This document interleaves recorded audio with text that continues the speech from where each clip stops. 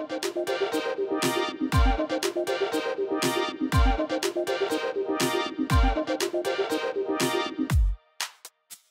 I'm Lee Teschler with EE World and Design World, and I'm here with Mike Shade from Illinois Capacitor.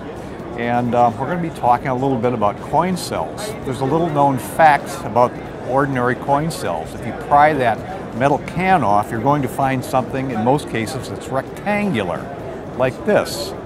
But Illinois Capacitor has come up with a different way of fabricating coin cells that actually makes better use of the area inside. Right. Mike, tell us a little bit about that. Well, kind of what we came up with was, uh, again, recognizing that there was a lot of wasted space, especially the bigger the battery got, you know, the more space that, that was unused.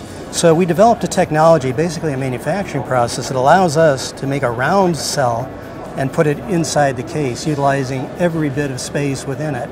So typically in a small size 20 millimeter, we can get maybe about 24% more power in that battery. But when we get up into the bigger sizes, it's like 176% more in that pace. So for you know wearables, Internet of Things, you can have more power, a longer lasting battery. For, so for the same size as a conventional coin cell, you can actually give uh, make something that has a longer life to it. Exactly, and again, these are rechargeable. You know, they're, they're what's considered a secondary battery. So again, for a wearable, something again like a, a, health monitoring device that you'd wear on your wrist, it would give you longer life, less time that you'd uh, you'd have to charge or recharging.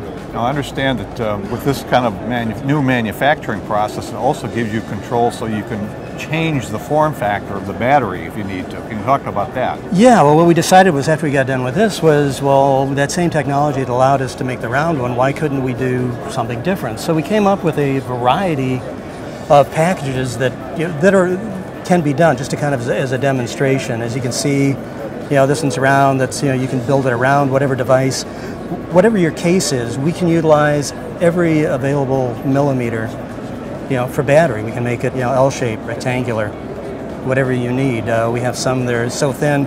This actually can be inserted into, inside a credit card.